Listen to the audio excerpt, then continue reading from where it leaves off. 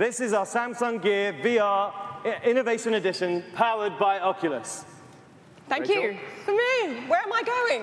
Where are you taking Take me? a seat Please first. have a seat. Okay, safety first. Yes. We've designed Gear, Gear VR, especially for innovative consumers and developers who, with the support of Samsung, will move virtual reality to the bold next new level. So all you need to do is you put your Note 4 right in, like, like we did, and you put on the headset, just like you did, and now you're ready to go Okay. anywhere. Now I'm seeing this for the first time, so I'm just going to describe. Hopefully, there's something like what I'm seeing Yeah, behind we- me. There's, we can there's it. people here. Oh, you, you're, you're now a woman in a tutu.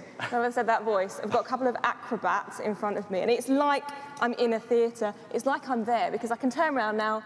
All I'm watching is empty seats and back, and they're carrying on. I mean, it's incredible. So what you're seeing is a 360 degree virtual reality just by turning your head. It's, it's keeping almost up like with my there. movements as well. There's absolutely no lag. The screen is amazing.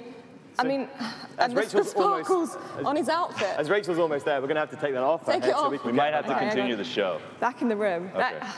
Thank you, Rachel. so disorienting. It's, it's fabulous. Um, I mean, there's so many hyperboles I could use, but can you tell us a bit about the hardware of Yeah. the headset? Of course. So that is silver colored glass applied onto a white body. In addition to style, we designed the headset focusing on ergonomics and comfort. So nothing stands between you and the immersive experience. And because the Note 4 is housed inside the Gear VR, you get to have an untethered virtual reality. Absolutely. I mean, it looks brilliant. I think you'll agree. It's so stylish. It wouldn't look out of place on something like a Daft Punk video. right. Um, Mm, and VR is going to be used a lot by gamers, isn't it, who demand a smooth experience. And if I'm judging by my experience I just had, then you guys have nailed it. Well, it's great. And of course, as you mentioned, in order for people to enjoy full VR content, the input has to be processed really smoothly without delay or any latency. So Samsung has applied the industry's top-notch super accuracy sensor into the Gear VR. It dramatically reduces the processing time to turn motion into pictures. And it processes at a tremendous speed of less than 20 milliseconds.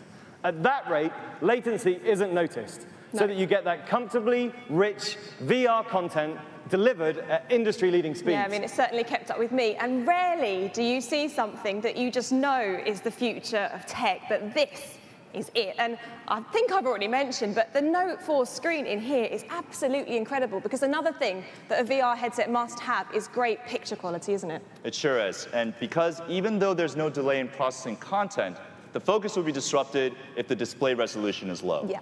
But that's not a problem with Gear VR because we adopted Super AMOLED, which is the key for providing quad HD VR content at that amazing response time.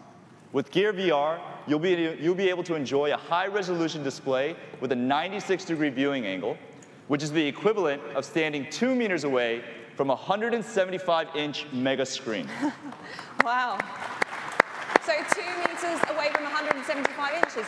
You know, I don't actually have a wall in my flat that's 175 inches, so this is perfect for me. If I just Yeah. take this now.